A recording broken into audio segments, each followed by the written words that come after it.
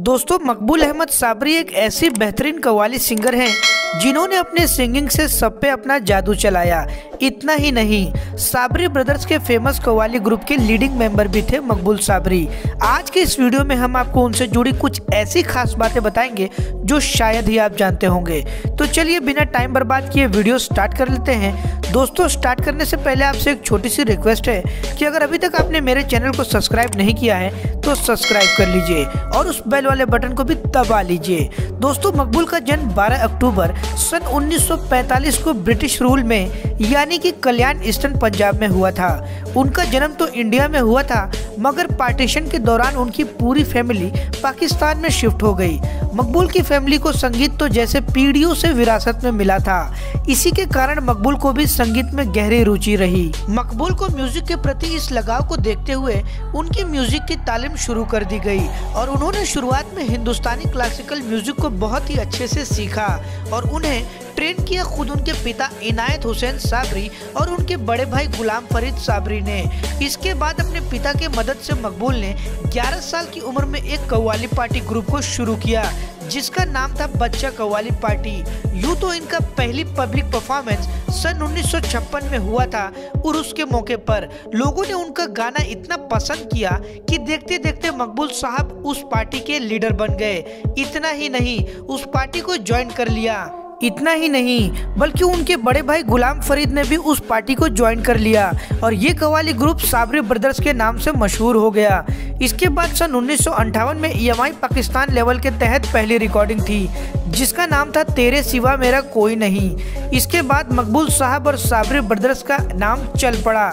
उन्होंने कई मशहूर कवालियाँ एक साथ गाई, जिसमें से कुछ उनकी मशहूर कवाली रही ताजेदार हरम, सखियाँ और पिल्ला, और बालाघल उलाहे लेही मकबूल ने इमाम अहमद रजा की एक कलाम पढ़ी, जिसका नाम था लम यती नजरुका। जो कि चार भाषाओं में अवेलेबल हैं, अरबी, उर्दू, फारसी और हिंदी। इसी के साथ मकबूल की शब्द शैली तो इतनी कमाल की थी कि वो फारसी, पंजाबी और उर्दू जैसे लैंग्वेजेस में ट्रेडिशनल पोइट्री भी किया करते थे। इतना ही नहीं, अपने समय के बेहतरीन गायकों में मकबूल का नाम सबसे ऊपर आता था। एक अच्छे कवाली सिंगर होने के साथ साथ मकबूल एक ऐसे पोएट रहे जिन्होंने कई मशहूर कवालियाँ लिखी भी। जैसे कोई मुझे पूछे मैं क्या चाहता हूँ और अजमेर को जाना है। इतना ही नहीं, बल्कि मकबूल का हाथ तो जैसे गजलों में भी कोई नहीं पकड़ सकता था। उनकी कुछ मशहूर गजलें रहीं, घुंघरू टूट गए। देख लो एक सितम, मेरे मिजाज की आवारगी, आईना तोड़ दिया। पाकिस्तानी फ़िल्मों में तो मकबूल की कवालियों का जादू था ही, लेकिन उनकी कुछ मशहूर कवालियाँ इंडियन फ़िल्मों में भी दिखाई दी, जैसे छाप तिलक सब छोड़ देगी। भर दो झोली, दमादम मस्त कलंडर और तेरे दर को छोड़ चले। इसी के साथ साबरी ब्रदर्स को पाकिस्तानी टेलीविज़न कॉरपोरेशन की तरफ़ से फ़र्स्ट क्लास का स्टेटस मिला हुआ था। यानी कि साबरी ब्रदर्स अपने सिंगिंग के लिए पाकिस्तान के साथ साथ और देशों में भी मशहूर हुए।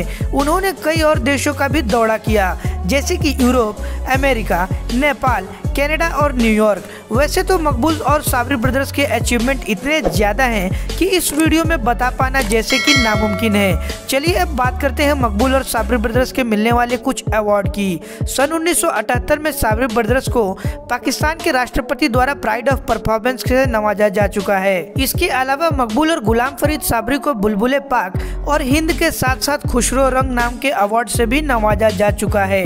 और वीडियो के अंत में बात करूँगा उनकी निजी जीवन और उनके डेथ के बारे में। मकबूल की शादी फातिमा जी के साथ हुई थी, जिसे उन्हें एक बेटा है जिसका नाम है सुमिल अहमद साबरी और उनकी पाँच बेटी और भी हैं। मकबूल के निजी जीवन से जुड़ी एक पहलू ये भी है कि मकबूल अपने बड़े भाई को ही अपना गुरु मानते थे।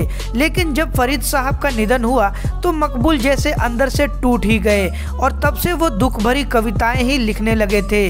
गुलाम साहब के जाने के बाद हम सभी को वो बुरा वक्त भी देखना था, जब मकबूल ने इस दुनिया को अलविदा कहा। बात साल 2011 की है, जब मकबूल शुगर और कई दिल की बीमारी से पीड़ित हो गए थे और साउथ अफ्रीका में वो अपना इलाज करवाने गए थे। और उनका इलाज लगभग दो महीने तक चला, लेकिन 21 सितंबर सन 2011 को दिल का दौरा पड़ने से मकबूल का निधन हो गया। सच पूछिए तो मकबूल साहब को खोना सिंगिंग की दुनिया का वो कमी है जिसे कोई पूरा नहीं कर सकता।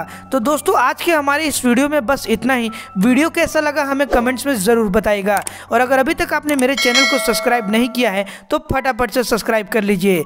Thanks for watching.